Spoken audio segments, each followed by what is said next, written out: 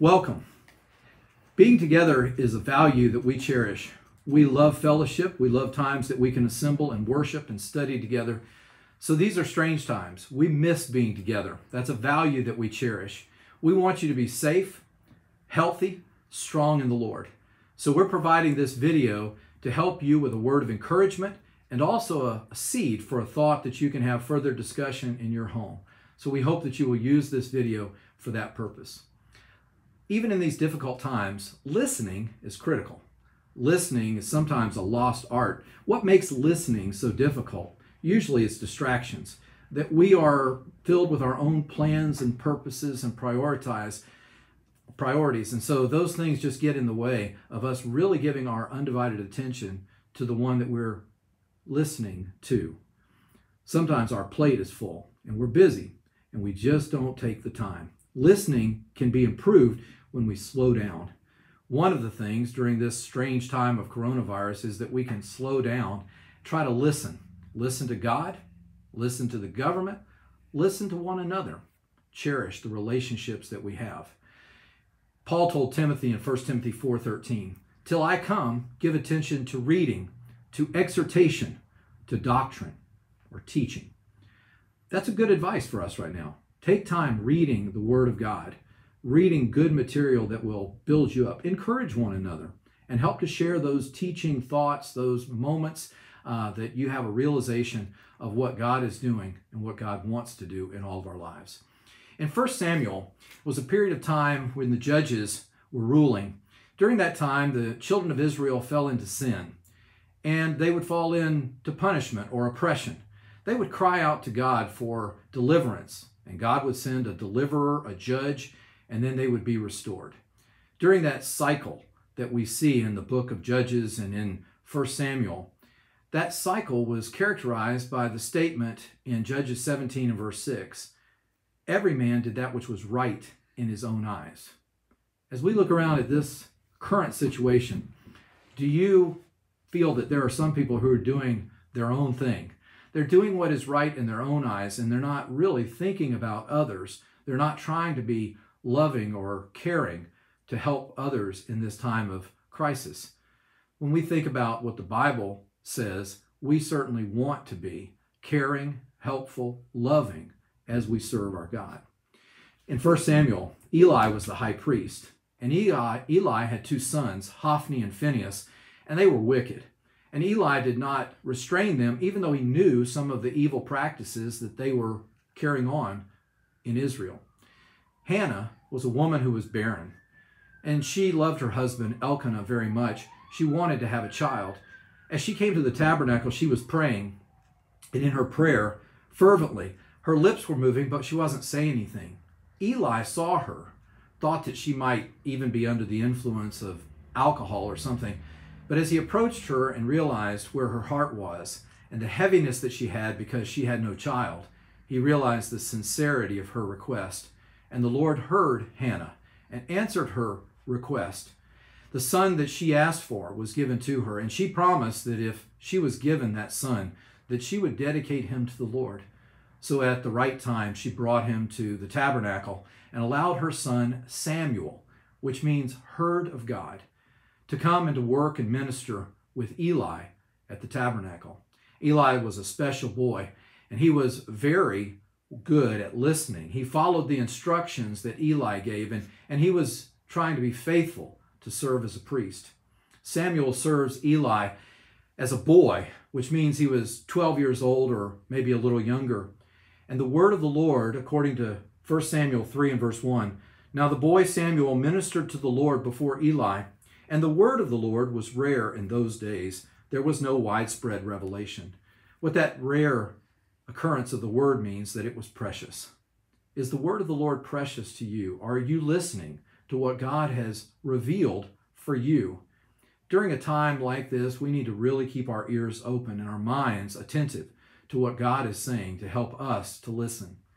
On one occasion, here in 1 Samuel 3, as Samuel lay down at night, and the lampstand, the seven branched lampstand that burned the oil, had not yet gone out in the middle of the night. And Samuel hears a voice. And so in 1 Samuel 3 and verse 4, and verse 6 and verse 8, three times, Samuel goes running into Eli and says, Here I am. You called me. And Eli finally realizes the third time. He says, Eli, he says, Samuel, uh, I wasn't the one calling you. The next time you hear this, here's what you say Speak, Lord, for your servant hears. And so Samuel went back, and the fourth time he lies there on his bed, and the Lord calls him. And in 1 Samuel 3 and verse 10, the Lord came and stood and called, as at other times, Samuel, Samuel. And Samuel answered, Speak, for your servant hears. Samuel was being a good listener. As the Lord spoke to him, he opened his ears. The way in which the Lord addresses Samuel, he says, Samuel, Samuel, that double reference of name is found only a few times in Scripture with Abraham and Jacob and Moses, and it's meant to get our attention. Can you imagine the Lord calling your name, calling it twice, to make sure that you're really listening to what He says? How do we respond when we realize that God is speaking to us? Do we have that attentive ear, that open ear that allows God to say what He wants to say to you and to me? Speak, Lord, your servant hears.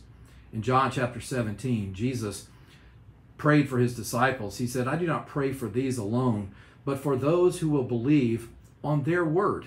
The word that the apostles spoke was to produce faith. Our belief, our trust in God is based upon the revelation that we have revealed, recorded, and preserved in the New Testament. But do we really listen? Jesus also said, My sheep hear my voice.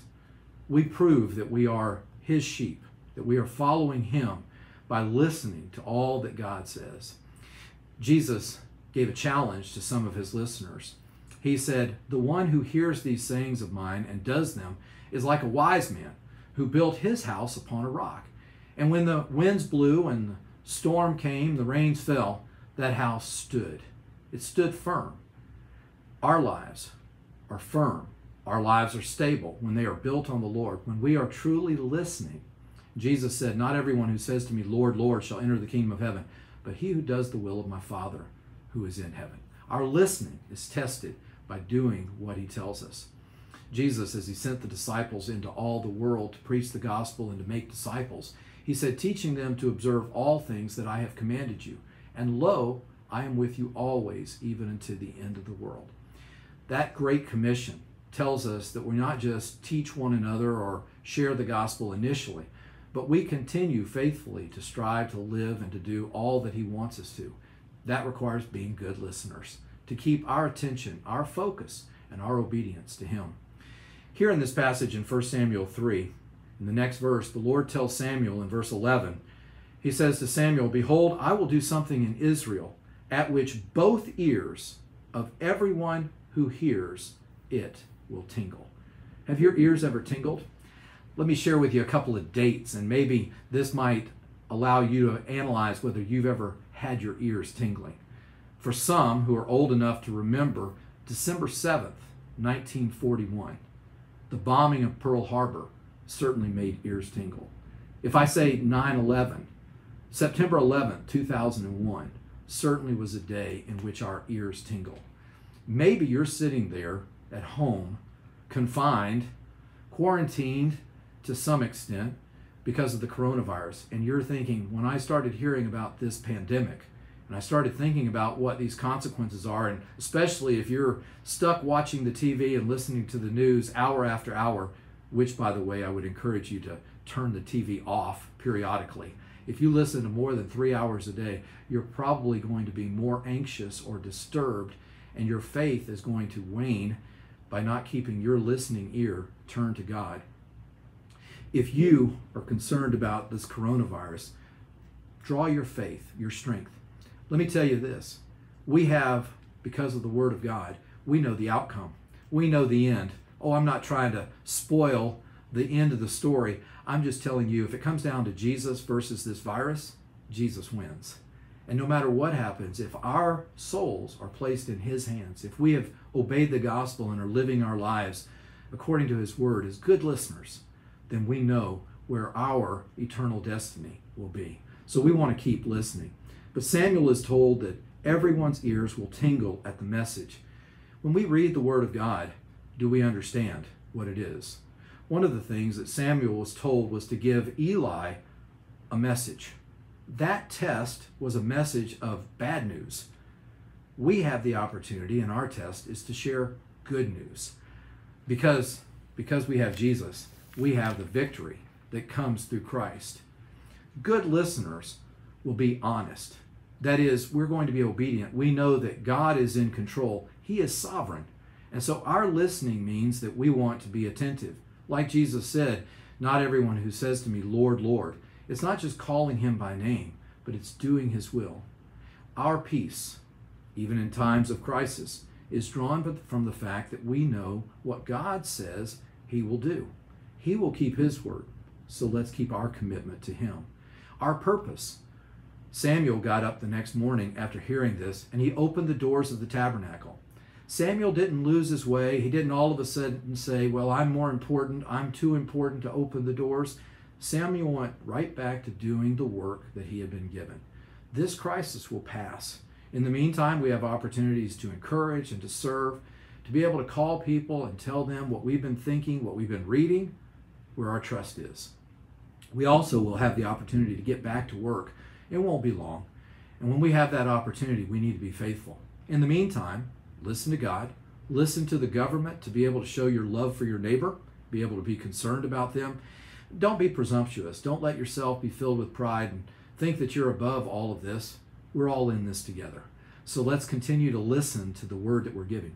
Good listening requires humility. Eli had not restrained his sons, even though he knew better. He knew what he should have done, and he didn't do it. Samuel knew what he should do, and he did it. Our good listening is to show the humility to listen to God and to give him attention. One of the things that I've thought of is while this pandemic is going on, it gives us the opportunity to spend time with the ones that we are living with, your family, your wife. You know, for guys who've been watching sports all the time, and all of a sudden the sports aren't on, that woman sitting down there at the end of your couch, that's your wife. Get reacquainted, spend time together. For parents, spend time with your kids. Enjoy seeing them and talking with them. Our lives get so busy. Researchers recently have shown where parents oftentimes spend as many as 150 meals a year standing up. That's about 14, 15% of those meals that we eat. Slow down, sit down, spend time together. Eli was very humble and accepted the judgment that God gave, even though it was painful for him. And God's prophecy concerning Eli and his sons and his whole family came true. As we think about this and apply it to our lives, I remember the story of Alexander Papadakis. Alexander Papadakis lived on the island of Crete. And he, as a boy, would run around the island and see the graves, mass graves of Germans and Cretans who had fought during World War II. Alexander Papadakis found a piece of glass. It was from a wrecked German motorcycle, the side view mirror. He took that piece of glass and he took it against a stone until he got the glass where it was round and it wasn't sharp. It was safe for him to hold. And as a boy, Alexander Papadakis went around and tried to shine, reflect the light off of that mirror into places where the light would never go, into a hole or some space between rocks. He became fascinated with that. Later, as Alexander Papadakis grew up, he founded an institute for peace because he wanted to let the light shine where otherwise it might not. Let me encourage you let the light shine through you during this crisis because you're a good listener. Listen to God, listen to the government, listen to each other. I was encouraged to share a word for some of our young people, and so I thought about this. If this pandemic goes on and people keep hoarding toilet paper, probably the most popular birthday gift in 2020 may become a bidet. So there's your word. For the young people that Craig told to listen for that, there it is. We love you.